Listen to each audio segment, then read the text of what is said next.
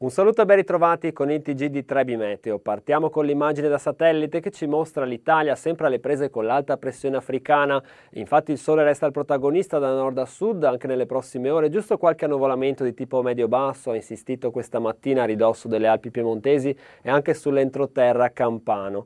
Per il resto poco da segnalare, tanto sole, ma il gran caldo che insiste sull'Italia. Infatti questo campo di alta pressione tra giovedì e venerdì insisterà ancora una volta sul nostro paese, anche se sulle regioni alpine ci sarà un, qualche infiltrazione più instabile che causerà dei temporali di calore. Vediamo dal punto di vista delle temperature quanto caldo farà sul nostro paese, infatti a partire da domani le temperature potranno anche raggiungere i 36-38 gradi, specie sul versante tirrenico su buona parte della Valpadana, con afa particolarmente particolarmente accentuata durante le ore serali nei grossi centri urbani.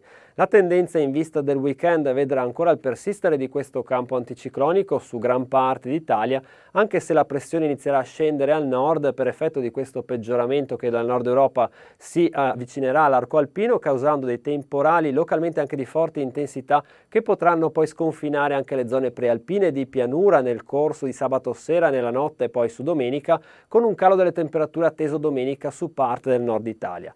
Ma per saperne di più consultate l'app gratuita di Trebi Meteo.